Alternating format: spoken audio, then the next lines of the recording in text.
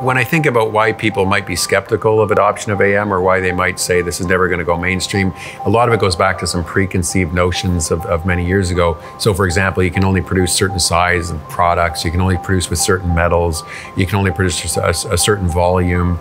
You know, it's very limited applications.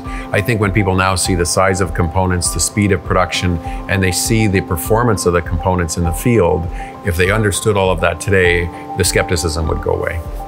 I'm Colin Osborne. I'm the president and CEO of Samuel Son and Company, and we think that additive manufacturing and Burloak Technologies is really going to be one of the cornerstones in manufacturing.